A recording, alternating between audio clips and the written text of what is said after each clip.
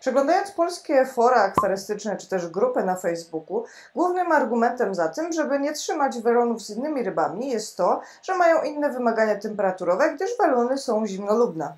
Czy faktycznie tak jest? Dzisiaj obalamy mity.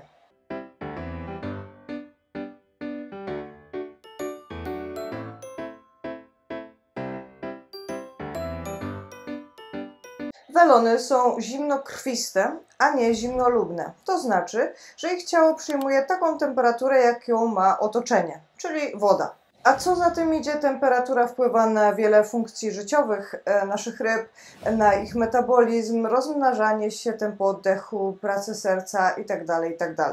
Człowiek, czy to w zimie, czy w lecie, stara się dążyć do tej homeostazy, czyli właśnie balansu i utrzymywać mniej więcej stałą temperaturę, która wynosi 36,6. Natomiast ryby nie mają takiego mechanizmu i ich ciało przyjmuje taką temperaturę, jaką ich otoczenie. Do tej pory, upraszczając, mówiłam, że optymalna temperatura dla welonów to między 18 a 24 stopnie. I dalej się z tym zgadzam, jeśli podajemy tą informację początkującym, którzy muszą mieć jakieś wytyczne, jak mniej więcej e, zarządzać swoimi welonami. Wyobrażam sobie tak, że ktoś ma jakieś małe akwarium, 120 litrów, dwa fantaile i sobie podmienia wodę 30% raz w tygodniu i właściwie za dużo go nie interesuje.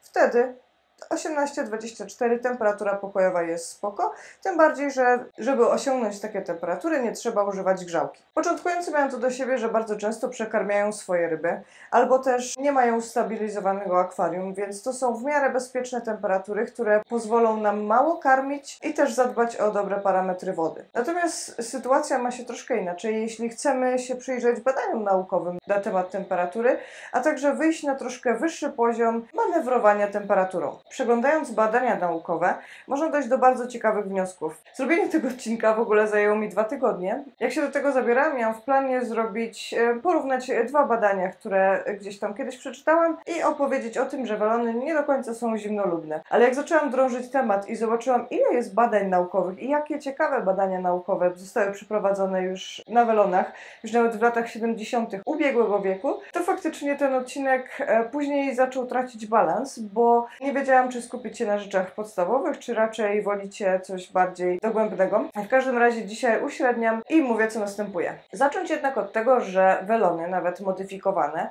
już od setek lat były trzymane na zewnątrz. I też bardzo często zdarzało się, że wachlarz temperatur w danym miejscu, e, taki roczny, był całkiem spory. I teraz z ciekawości wygooglowałam sobie, jak wygląda roczna temperatura Fuzhou, czyli w Chinach, tam skąd pochodzi większość moich ranczów. Możemy zauważyć, że w zimie temperatura jest około 10 stopni, choć zdarzają się zimy ze śniegiem, a w lecie temperatura sięga prawie 30 stopni. Jak widzicie, ten wachlarz temperatury jest całkiem spory. A mimo to okazuje się, że nasze kochane ranczu przetrwały tam już od setek lat i ich popularność ani populacja wcale nie maleje. Taki system rocznych zmian temperatury jest dosyć korzystny, dlatego że na wiosnę stymulujemy starło, mm, w lecie optymalny wzrost, a w zimie jest to wyciszenie, okres diety i spowolnienie metabolizmu. No ale jeśli by tak wybrać jedną optymalną temperaturę, to jaka ona jest? Tak naprawdę to jest bardzo trudne pytanie i kluczowe, bo temperatura jest jednym z najważniejszych czynników, jakie decydują o tym, co ten nasz welon robi i jak się zachowuje, jak się zachowuje jego ciało.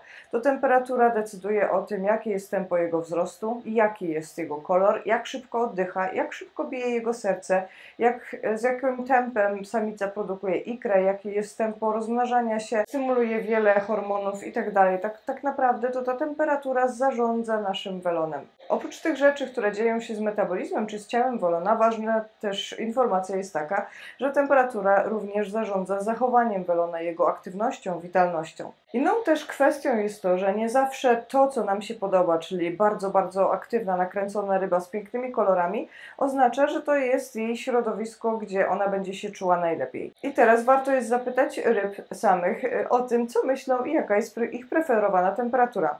I okazuje się, że takie badania były robione, nawet kilka. Jedno z badań, o którym już wcześniej mówiłam, to jest badanie z lat 70. akurat, dosyć y, stare. Polegało na tym, że postawiono taki dosyć długi zbiornik, który był przedzielony i tak naprawdę każda taka jakby e, komora, czy każda część tego zbiornika miała inną temperaturę. Wpuszczono do niego ryby i ryby mogły sobie wybrać, w której części zbiornika będą e, przebywać i to miało nakierować, e, jakie są ich preferowane i optymalne temperatury. I co ciekawe, okazało się, że welony najlepiej czują się w temperaturze między 26 a 30 stopni. Wprawdzie nie dotarłam do dokładnych informacji o tym, jakie to były rasy, jak bardzo zmodyfikowane. To samo badanie już daje, łamie pewne stereotypy. Drugie badanie też było bardzo ciekawe, bo okazało się, że wytresowano welony, że jak naciskają jakiś guzik, to automatycznie wpada kubeł zimnej wody do akwarium i automatycznie obniża temperaturę. I te welony również wybrały sobie, że zostały wsadzone do bardzo, bardzo ciepłej wody i na pewnym etapie po prostu przestały naciskać ten guzik, to znaczy, że temperatura im odpowiadała i to była też temperatura bliska 30 stopni. Później przeprowadzono jeszcze szereg innych badań naukowych, gdzie udowodniono i wnioski z tych badań są takie, że preferowaną temperaturą welonów, taką jakbyśmy zapytali, hej welon, jaka jest Twoja temperatura, to jest między 24 a 30 stopni Celsjusza. Oczywiście tutaj warto też dodać to, że preferowana temperatura ryby zależy też od tego, do jakiej temperatury była aklimatyzowana. Co innego jest z rybami, które całe życie spędzają na dworze w chłodnym klimacie i miałyby teraz nagle być wpuszczone do ciepłej wody i aklimatyzowane, a co innego jest z takimi rybami jak nasze mopsiki, które siedzą sobie wygodnie w ciepłym akwarium i na pewno łatwiej byłoby im się przystosować i właśnie wybrać taką optymalną temperaturę. Ale czy ta ryba naprawdę wie, co jest dla niej dobre? Otóż przeprowadzano kolejne i kolejne badania i okazywało się, że najlepszy wzrost jest przy temperaturze 28 stopni, najlepsze kolory przy temperaturze 26-30 stopni. Też co ciekawe, okazało się, że w wyższych temperaturach łatwiej było ryby tresować. Domyślam się y, czemu, bo pewnie dlatego, że było, metabolizm był nakręcony i łatwiej było e, sterować nimi po prostu pożywieniem, bo czymże tresuje się nasze welony niż motywując je jedzeniem. Dla nas z kolei ważne jest to, że system odpornościowy najlepiej działa w temperaturze około 25 stopni Celsjusza. To znaczy, że jeśli, jakaś, że jeśli nasza rybka zachowuje się nieswojo, to pierwszym naszym działaniem powinno być podnieść delikatnie temperaturę, żeby dać kopa temu metabolizmowi, a przede wszystkim systemowi odpornościowemu, żeby miał szansę sam zawalczyć z tym patogenem, który go akurat męczy. No dobra, teraz tak sobie słuchacie, słuchacie i moglibyście dojść do wniosku, że welony są rybami tropikalnymi. Otóż wcale nie. Y, nie są też rybami zimnolubnymi. Tak naprawdę one nie pasują do żadnej kategorii, dlatego że ta rozpiętość temperatur, w których potrafią przeżyć i w których całkiem dobrze się czują, jest całkiem duża. Jeśli ja bym miała się wypowiedzieć, jestem daleka od bycia y, naukowcem czy ekspertem, ale jednak wydaje mi się, że trzymanie welonów cały czas w wysokich temperaturach może niekoniecznie być dla nich optymalne. Po pierwsze, takim argumentem przeciw temu jest to, że welony wtedy bardzo szybko rosną. Okej, okay, nam się to bardzo podoba. Podoba się to też sprzedawcom z Tajlandii, którzy napędzają welona.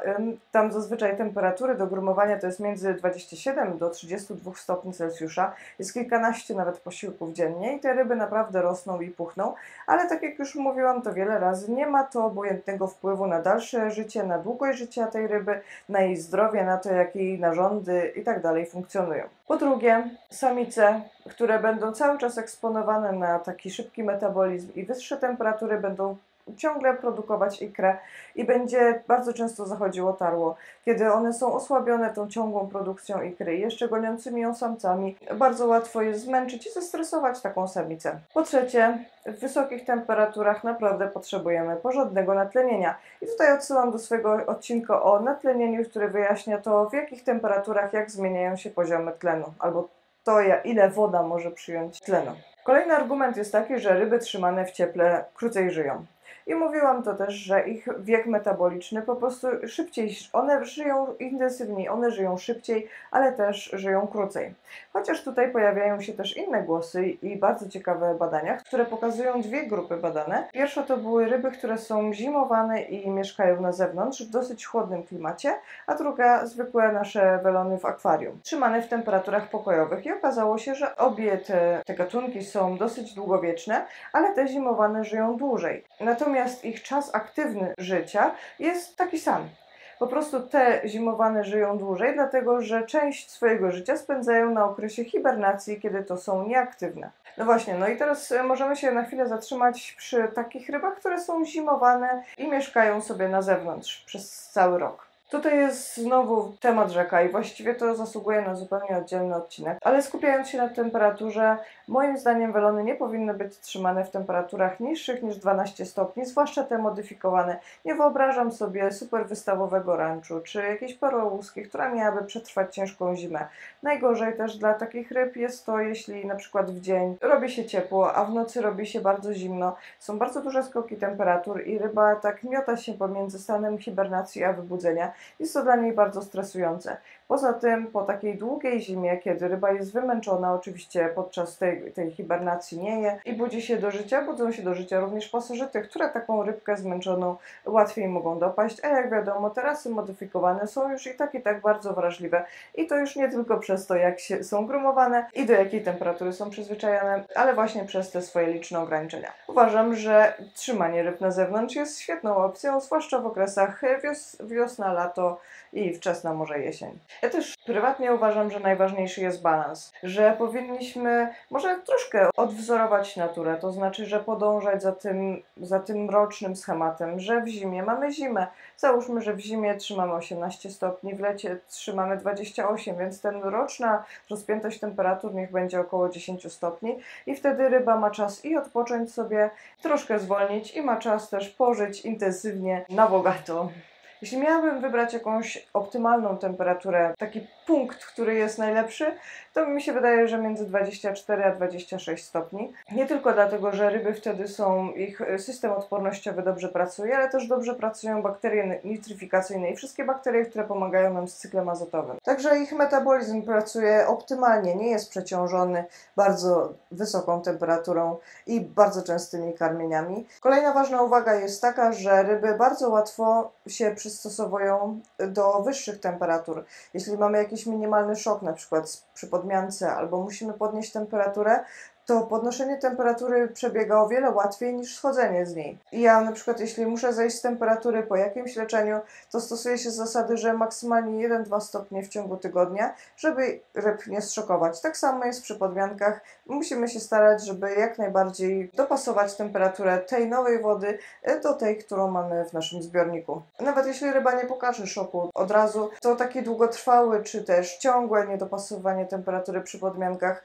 oczywiście będzie ją stresować i może wpłynąć na jej odporność. Często też spotykałam się z argumentem, że welony zamulają w ciepłej wodzie. Może się tak dziać z dwóch przyczyn. Pierwsza to taka, że jest za małe natlenienie. Im cieplejsza woda, tym powinno być natlenienie naprawdę na maksa. Kilka napowietrzaczy, ruch tafli wody powinien być bardzo duży. Zresztą tego tlenu nigdy nie jest za dużo, więc natlenienie musi być na maksa, kilka napowietrzaczy i uwierzcie mi, że ryba nie będzie zamulać. No chyba, że sytuacja jest taka, że po prostu bardzo, bardzo szybko i drastycznie podnosimy temperaturę wody, no to faktycznie może to w jakiś sposób zszokować rybę. Ten odcinek nie ma narzucić, że macie trzymać teraz nagle wszyscy rozkręcają kaloryfery i na 30 stopni. Nie, ma po prostu obalić pewne mity, że welony nie, nie, powinno się klasyfikować ich jako ryb zimnowodnych, nie powinno się też ich klasyfikować jako ryby tropikalne, tylko ryby, które po prostu mają szeroką tolerancję na temperaturę. Ale oczywiście najważniejsze jest to, żeby je obserwować, w której temperaturze najlepiej się czują, w jakiej są najbardziej aktywne, w jakiej sprawiają nam też największą przyjemność. Czy lubimy je obserwować, kiedy żyją krócej być może, ale intensywnie, albo wolniej, spokojniej i dłużej. Tak więc wracając do tych nieszczęsnych grup facebookowych, to nie dlatego, że temperatura nie odpowiada naszym welonom, nie zaleca się ich trzymania z innymi rybami, tylko zwykle chodzi o obopólną agresję i bezpieczeństwo. To tyle na dzisiaj. Dziękuję za uwagę i zapraszam na następny odcinek.